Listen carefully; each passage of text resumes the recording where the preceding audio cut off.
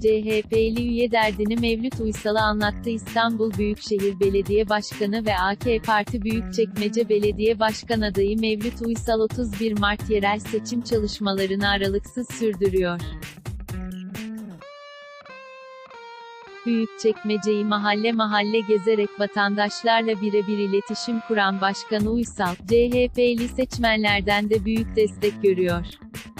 İstanbul Büyükşehir Belediye Başkanı ve AK Parti Büyükçekmece Belediye Başkan adayı Mevlüt Uysal Büyükçekmece halkının dertlerini dinlemeyi sürdürüyor.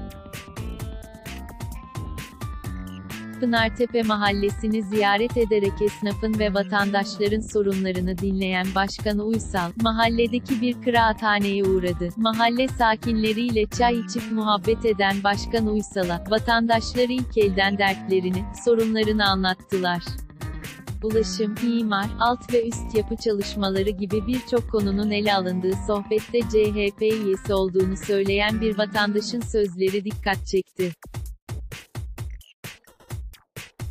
CHP'li vatandaştan Hasan Akgün'e şok, 15 ila 20 tane meclis üyesi 240 bin nüfusun sırtına binmiş durumda, diyerek isyan eden CHP'li vatandaş, şu anda nasıl yönetildiğini söylüyorum.